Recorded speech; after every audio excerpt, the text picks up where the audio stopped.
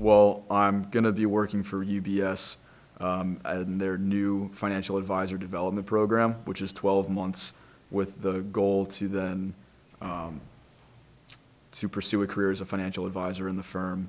Um, so you're working for them for a couple of years after the program is finished, um, and then you're able to join an existing financial advising team or start your own practice and open your own book of business by acquiring new business. Um, so I'd like to be within financial services um, for a good amount of years.